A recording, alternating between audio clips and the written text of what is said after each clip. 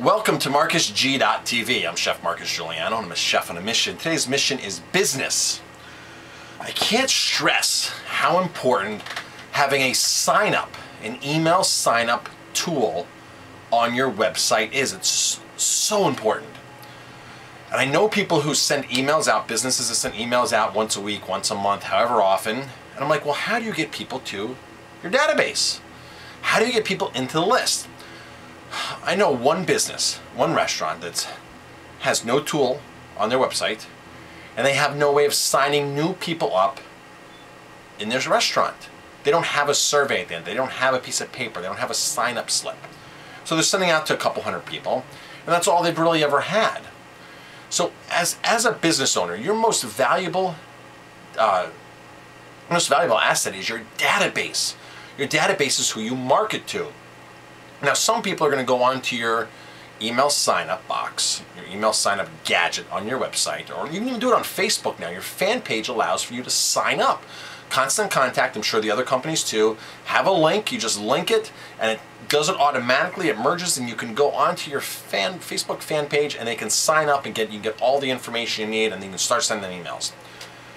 Now, some people are going to sign up and are not going to come into your restaurant. They may never come into your restaurant but they're going to know about you, right? Now, here's a true experience from just last week in my restaurant.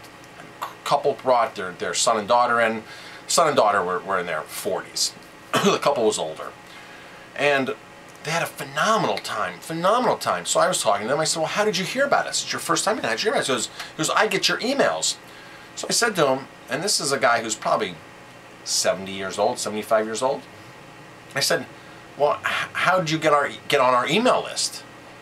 He goes, oh, I went to your website and I signed up four years ago. And I said, wow. And he goes, you know, I read your emails. I know all about you and I've never been in. And I decided it was time to come to your business.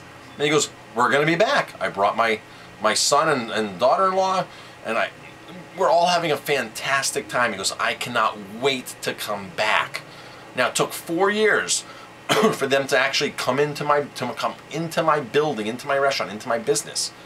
But if I didn't have that email sign up box on my website, they would have I would have never had that business. I would have never had that business. So I sent to about five, six thousand people a week.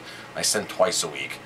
I have another account where I send to 1700 I have 1700 people on the list. Um, it's for something totally different than my restaurant. It's for another um, sort of like nonprofit that I send to Ellenville Run Like the Wind Race, which I do that. That's included in there. so whatever you're promoting, whether it's a, a nonprofit entity, whether it's a, a race, um, an event or something that you do once a year, like we, in Ellenville we'd have a blueberry festival. If I was in charge of the Blueberry Festival, I would be making sure I send out tons of emails to people and I get people on a database. I'd make sure that at the Blueberry Festival, that happens once a year, I would have some kind of sign up, some kind of sign up and giveaway, like give away $100 gift certificates for this, this, and this, and have people sign up. You can get those people into the database so you can keep marketing to them. Now here is the rule. It's six times easier to get somebody into your business the second time, into your restaurant the second time, versus getting a new customer for the first time. And how do you get a person in for the second time? You communicate to them. And the best way to communicate is email. So make sure your website and your Facebook is equipped to have email signups, get them in your database, and make sure at the end of the meal in your business, however, you're handing out surveys, you're encouraging people to give you an email, give you permission to send them. Don't go rob emails from other people because that you'll get in trouble for that. You have to have, they have to have permission. They have to be, you know, they have to opt in. They have to want to get information from you. But make them a give them a reason to want to get information from you. Make your emails interesting, fun, exciting. Don't make them constant sales pitches. Make them valuable information that people can actually share. But get that email sign up list on your Facebook and on your website. I'm Chef Marcus Guiliano. If you have any questions, you can send me an email at help at 50mistakes.com.